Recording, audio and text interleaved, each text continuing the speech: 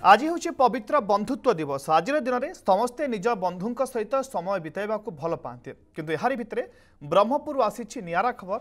ବନ୍ଧୁତ୍ୱ ଦିବସରେ ଗଛକୁ କିଛି ଲୋକେ ବନ୍ଧୁ ଭାବେ ନେବାକୁ ସ୍ଥିର କରିଛନ୍ତି। ଆଉ ଏହାକୁ ନେଇ ଗଛ ସହିତ ସେମାନେ ପାଳନ କରିଛନ୍ତି ବନ୍ଧୁତ୍ୱ ଦିବସ। ଏହା ପୂର୍ବରୁ ସେମାନଙ୍କ ଦ୍ୱାରା ଅନୁପ୍ରାଣିତ ହୋଇ ଶହ ଶହ ଗଛକୁ ଅନେକ ଲୋକ ପୋଷ୍ୟ ଭାବେ ଗ୍ରହଣ କରି ଗଛ ଲଗାଇବାଠାରୁ ଆରମ୍ଭ କରି ଲାଳନ ପାଳନ କରିବାର ଚିତ୍ର ସାମ୍ନାକୁ ଆସିଥିଲା। ଏବେ କିନ୍ତୁ ଗଛକୁ ନିଜର ସାଙ୍ଗ ଭାବେ ଗ୍ରହଣ କରିବାକୁ ଶପଥ ନେଇଛନ୍ତି ଏମାନେ। ପୀତାମ୍ବର ନାହକ ଆମ ବ୍ରହ୍ମପୁର ପ୍ରତିନିଧି ଅଛନ୍ତି। ସିଧାସ୍ଥ ନେଇ ଚାଲୁଛୁ ଅଧିକ ସୂଚନା ପାଇଁ। ପୀତାମ୍ବର ଏକ ନିଆରା ପ୍ରୟାସ କୁହାଯାଇପାରେ ବୃକ୍ଷକୁ ବନ୍ଧୁ ଭାବେ ଗ୍ରହଣ କରି ସମାଜକୁ ଏକ ଅଭିନବ ବାର୍ତ୍ତା ଦେଇଛନ୍ତି। ଅପୂର୍ବ ନିଶ୍ଚିତ ଭାବେ କହିପାରିବା ବନ୍ଧୁତ୍ୱ ଦିବସର ଯେ କେତେ ପବିତ୍ରତା କେତେ ନିବିଡ଼ତା ଥାଏ ଏ ଏ ଉଦାହରଣ ହିଁ ଦେଖିବାକୁ ମିଳୁଛି ଯେ ଯେଉଁଭଳି ଭାବରେ ବ୍ରହ୍ମପୁରର ସବୁଜ ବାହିନୀ ନାମକ ଗୋଟେ ସଂଗଠନ କରିଛନ୍ତି ସମ୍ପୂର୍ଣ୍ଣ ଭାବେ ନିଜ ପକେଟ୍ ଖର୍ଚ୍ଚରେ ପ୍ରତ୍ୟେକଟି ଦିନରେ ସମ୍ପୂର୍ଣ୍ଣ ଭାବେ ରାତି ପାହୁ ପାହୁ ଗଛ ଲଗାଇବା ପାଇଁ ଆସନ୍ତି।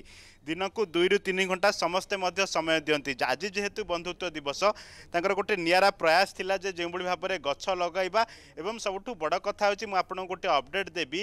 ଦେଶର ତୃତୀୟ ସ୍ଥାନରେ ପଞ୍ଚବୁଟି ଗଛ ଲାଗିଛି ଅର୍ଥାତ୍ ପାଞ୍ଚଟି ଗଛକୁ ଗୋଟିଏ ଜାଗାରେ ଲାଗିଛି। ଆମେ ସିଧାସଳଖ ଆଲୋଚନା କରିବା।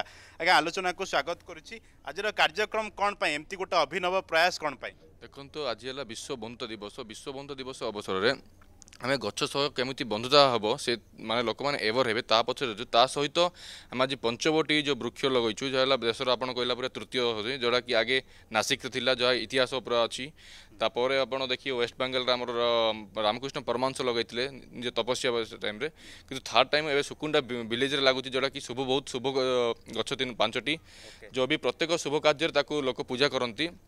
ଆଉ ଯେହେତୁ ବନ୍ଧୁ ଦିବସରେ ଗଛ ସହିତ ଆମେ ବନ୍ଧୁତା କରିବାକୁ ଆମେ ଚେଷ୍ଟା କରୁଛୁ ଆଉ ସେଥିପାଇଁ ଆମେ ଆଜି ପଞ୍ଚବଟି ବୃକ୍ଷ ବି ଲଗେଇଲୁ ଯେଉଁଟା ହେଉଛି ଆପଣ ଦେଖିବେ ଗୋଟେ ବଟ ଉସ୍ତ ଆଉ ଆମର ଅ- ଅଶୋକ ଆଉ ନିମ ଆଉ ବେଲ ଆଉ ଅଁଳା ନିଶ୍ଚିତ ଭାବେ ଆମେ ଆଲୋଚନା କରିବା ଯେ ଯେଉଁମାନେ ଆ, ନୂଆ ପିଢ଼ି ଯୁବପିଢ଼ି ମଧ୍ୟ ସାମିଲ ହେଉଛନ୍ତି ଆଜ୍ଞା ପ୍ରତ୍ୟେକ ଦିନ ରାତି ପାଇଲେ ଆସନ୍ତି ଗଛ ଲଗାଇବା ପାଇଁ।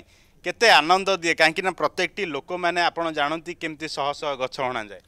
ଦେଖନ୍ତୁ ଆମେ ସ- ରାତି ପାଇଲେ ଗଛ ଲଗାଉ ତାର କାରଣ ହେଉଛି ଗଛ ଆମର ପ୍ରକୃତ ବନ୍ଧୁ। ଗଛ ବିନା ଆମର ଜୀବନ ମାନେ ବଞ୍ଚିବା ଆମେ ବଞ୍ଚିପାରିବାନି ଗଛ ଯିଏ ସଂସାରର ବିଷ ନେଇକି ଅମୃତ ପ୍ରଦାନ କରେ ସିଏ ହେଉଛି ଗଛ। ଗଛ ଆମକୁ ଅକ୍ସିଜେନ୍ ଦେଲା ଆମକୁ ଖାଦ୍ୟ ଦେଲା ବସ୍ତ୍ର ଦେଲା ସବୁ ଦେଲା। ସେଥିପାଇଁ ବିନା ଗଛରେ ଆମେ ବଞ୍ଚିପାରିବା ନାହିଁ। ସେଥିପାଇଁ ଆମେ ଗଛ ଲଗାଇବା ପାଇଁ ଚେଷ୍ଟା କରୁଛୁ। ଆଉ ଗଛ ଦ୍ୱାରା ଆପଣଙ୍କର ଗାଁ ହୁଡ଼ା ସବୁଜ ସବୁଜ ଦେଖାଯିବ। ବ୍ରହ୍ମପୁର ସହର ଉପକଣ୍ଠରୁ ଆସିକି ଗାଁର ପୋଖରୀ ହୁଡ଼ାକୁ ସବୁଜ ବନାନୀ କରୁଛନ୍ତି। ଆଉ ଆଜି ବିଶ୍ୱ ବନ୍ଧୁତ୍ୱ ଦିବସରେ ସବୁଜ ବାହିନୀ ଯେଉଁ ପ୍ରକ୍ରିୟା ଆରମ୍ଭ କରିଛନ୍ତି। ଆମେ ସୁକଣା ଗ୍ରାମ ବାସ ତରଫରୁ ଧନ୍ୟବାଦ ଦେଉଛୁ। ଏବଂ ଯେଉଁ ପଞ୍ଚବଟି ଲଗେଇଛନ୍ତି ଆକ୍ଚୁଆଲି ଆମର ଗାଁରେ ମଧ୍ୟ ଏଇଟା ଗୋଟେ ବହୁତ ମହତ୍ତ୍ୱ କାର୍ଯ୍ୟରେ ଲାଗିବ। ଲୋକମାନେ ବହୁତ ପୁରା ଆସିକି ଏଠି ପୂଜାବିଧି କରିବେ। ଏଇଟାକୁ ଆମେ ଗାଁ ଲୋକ ମଧ୍ୟ ତା ତଦାରଖ କରିବୁ ଏବଂ ସବୁଜ ବାହିନୀକୁ ବହୁତ ବହୁତ ଧନ୍ୟବାଦ ଦେଉଛୁ। ଏ କାର୍ଯ୍ୟକ୍ରମ ଦେଖିକି ଯୁବପିଢ଼ି ମାନେ ମଧ୍ୟ ବେଶ ଖୁସି ହେଉଛନ୍ତି ସାମିଲ କରୁଛନ୍ତି ନିଜକୁ। ଭାଇ ଆପଣ ଆସୁଛନ୍ତି ଯେତେବେଳେ ଗଛ ଲଗାଉଛନ୍ତି ସାଙ୍ଗସାଥୀଙ୍କ ସହିତ। ଆଜି ଗୋଟେ ବନ୍ଧୁତ୍ୱ ଦିବସ ସମସ୍ତେ ସାଙ୍ଗସାଥୀ ମାନେ ସାଙ୍ଗ ହୁଅନ୍ତି। କିନ୍ତୁ ସକାଳୁ ସକାଳୁ ଆପଣ ଗଛ ପ୍ରେମୀ। କେମିତି ଦେଖନ୍ତି? କେତେ ଭଲ ଲାଗେ? ବହୁତ ଭଲ ଲାଗେ ସାଙ୍ଗସାଥି ମିଶିକି ଆମର ସବୁଜ ବାହିନୀ ଟିମ୍ ତରଫରୁ। ଆମ ସାଙ୍ଗସାଥି ମିଶିକି ଏଇଟା ଗୋଟେ ଗଛ ଯେମିତି ବଞ୍ଚିବ ଆଗକୁ ଯେମିତି ଆମେ ଆହୁରି ଗ୍ରୋଥ୍ କରିପାରିବୁ। ଆହୁରି ଯେଉଁ ଜିନିଷ ଗଛ ପ୍ରତି ଆମର ସାଙ୍ଗସାଥିମାନଙ୍କ ସ୍ନେହ ଶ୍ରଦ୍ଧା ଆହୁରି ବଢ଼ୁ। ଲୋକମାନେ କେମିତି ଜାଗୃତ ହୁଅନ୍ତୁ କି ଗଛ ଆହୁରି କେମିତି ସେଭ୍ ହେବ କେମିତି ଗ୍ରୋଥ୍ ହେବ ସେଇଟା ବିଷୟରେ ଆମେ ଟିକେ ନିଶ୍ଚିତ ଭାବେ ଅପୂର୍ବ ଆମେ ଆଲୋଚନା କରୁଥିଲେ ଯେମିତିକି ଆଲୋଚନାର ବିଷୟବସ୍ତୁ ଏଇଆ ଯେ ଆଜି ଗୋଟେ ବନ୍ଧୁତ୍ୱ ଦିବସ ସମସ୍ତେ ମଲ୍ ଯାଉଛନ୍ତି ସମସ୍ତେ ବେଳାଭୂମି ଯାଉଛନ୍ତି। କିନ୍ତୁ ପୋଖରୀ ହୁଡ଼ାରେ ବନ୍ଧୁତ୍ୱ ଦିବସ ପାଳନ କରାଗଲା ଗଛକୁ ବନ୍ଧୁ କରାଗଲା ଏବଂ ପଞ୍ଚବୁଟିର ଗୋଟେ ଯେମିତିକି ବିଶ୍ୱାସ ପରମ୍ପରା ରହିଛି ସେ ବିଶ୍ୱାସ ପରମ୍ପରାକୁ ମଧ୍ୟ ବଜାୟ ରଖାଗଲା ବନ୍ଧୁତ୍ୱ ଦିବସ ବହୁତ ବହୁତ ଧନ୍ୟବାଦ। ପୀତାମ୍ବର ନାହକ ଆମ ବ୍ରହ୍ମପୁର ପ୍ରତିନିଧି ସିଧାସଳଖ ଚିତ୍ର ଦେଖାଉଥିଲେ ଯେ କେଉଁଭଳି ଭାବେ ଏକ ସଂଗଠନ ସାମ୍ନାକୁ ଆସିଛି।